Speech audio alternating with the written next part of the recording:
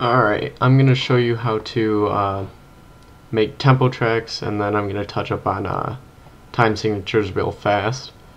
Alright, to change your tempo, you want to right click in this area and then make add a tempo track. You're going to make sure right here you're on tempo track not fixed, you're going to be on track. And you use the pencil tool to draw where you want your tempo to be. Here, let me make this a little bit bigger. Now, see I just revealed this jump thing that makes it, um, if you have it set to jump, you have this,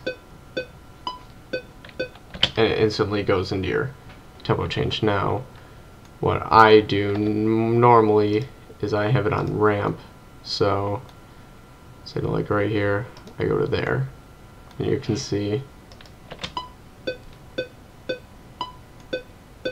Here, I'll make it more drastic. Yeah. It's slowing down. And that's basically how you do that. That's pretty simple. The one thing is that most people have it like this so they don't see ramp or jump and they don't know how to make it uh, ramp. It's just automatically set to jump. Either you go like that till that comes up or like that.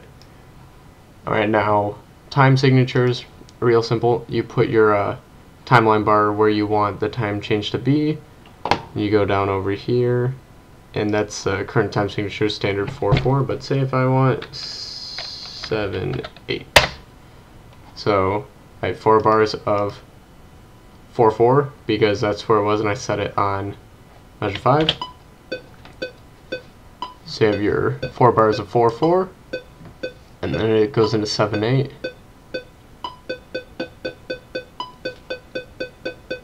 Say I want that for 4 measures. And then right on here, let's go back to 4 4.